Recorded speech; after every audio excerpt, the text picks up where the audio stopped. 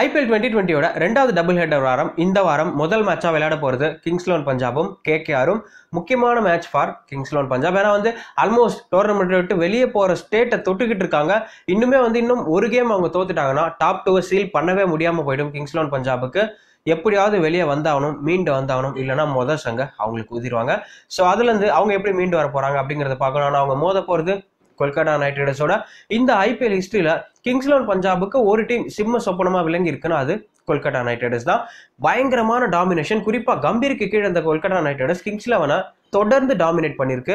So இது வந்து கண்டிப்பாக கிங்ஸ்லோன் மைண்டில் இருக்கும். பட் ஸ்டில் கேப்டன்ஸ் மாறியாச்சு டீம்ஸ் மாறியாச்சு. பட் இருந்தாலும் இந்த ஸ்ட்ரீக் அப்படிங்கிறது கொஞ்சம் உறுத்தல் செய்ய தான் செய்யும். பட் பார்க்கலாம் என்ன நடக்க போகுது அப்படின்னு சொல்லி. ஏன்னா வந்து கேகேஆருக்குமே வந்து இது ஒரு நல்ல கோயிங்கில் இருக்காங்க. அது அப்படியே அந்த ரிதம் கொண்டு போக தான் பார்ப்பாங்க அண்ட் கிங்ஸ்லோன் பஞ்சாபுக்கு மஸ்ட் நீடட் விக்ட்ரி இதுதான் சுச்சுவேஷன் முதல்ல கேஎக்ஸ்ஐபி எடுத்து பார்த்தோம் அப்படின்னா வந்து நம்ம போன மேட்ச்லேயே பார்த்தோம். ராகுல் போன மேட்ச் சரியாக பெர்ஃபார்ம் பண்ணல. மயங்க் போன மேட்ச் சரியாக பெர்ஃபார்ம் பண்ணல. பட் த்ரூ த டோர்னமெண்ட் நல்லா தான் பண்ணியிருக்காங்க நோ ப்ராப்ளம் சிம்ரன் சிங் ஒரு மேட்ச் தான் விளையாடிருக்காங்க. ஸோ பொறுத்திருந்து பார்ப்போம். நிக்கோலஸ் பூரன் ஃபேண்டாஸ்டிக்காக விளையாடிட்டு இருக்காங்க நெகட்டிவ்ஸ் மேக்ஸ்வெல் தாங்க. மேக்ஸ்வெல் ஆடவே இல்லை. சுத்தமாக ஆடவே இல்லை. மேக்ஸ்வெல் மேலே இருக்க எதிர்பார்ப்புக்கு அவர் அதில் பாதி கூட அப்படிங்கிறது அப்படிங்கிறதா உண்மை. ஸோ மேக்ஸ்வெல் ஃபார்முக்கு வருவாரா? இல்லை டீமில் ஏதாவது மாற்றம் எதிர்பார்க்கலாமா? அப்படிங்கிறத சாயந்தரம் மேட்ச் பார்த்தா தான் தெரியும்.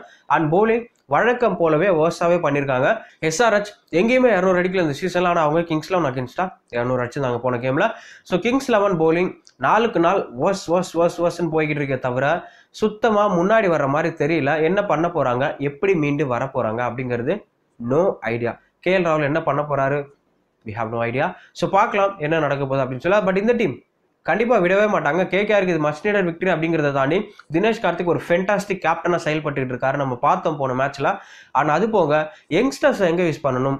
சுனில் நரன் எங்கே யூஸ் பண்ணணும்? அப்படிங்கிறது அவருக்கு நல்லாவே தெரியுது போலிங்கில் கையை விட்டு போன கேம் ஆல்மோஸ்ட் கையை விட்டு போன கேம் தோனியோட ஸ்லோ இன்னிங்ஸ்னாலையும் கேதார் ஜாதவோட ஸ்லோ இன்னிங்ஸ்னாலையும் சிஎஸ்கே அன்னைக்கு கேமை தோத்துருந்தாங்க அப்படின்னு நம்ம சொல்கிறோம் பட் ஸ்டில் இந்த ஆங்கிள் யாருமே பார்க்கல. கேகேஆர் சூப்பராக விளையாடினாங்க அப்படிங்கிறதா உண்மை.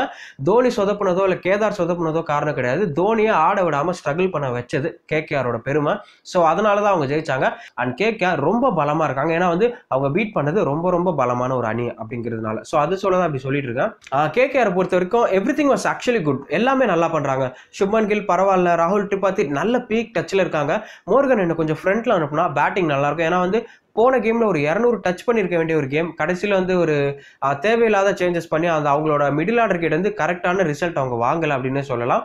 காரணம் சுனில் நரேன் வந்து சம்மந்தமே இல்லாமல் நம்ம ஃபோனில் கொண்டு வந்ததாக இருக்கட்டும் மோர்கனை தொடர்ந்து ரொம்ப பின்னாடி கொண்டு வரதாக இருக்கட்டும் இந்த மாதிரி பல காரணங்களை நம்ம சொல்லிக்கிட்டே போகலாம்.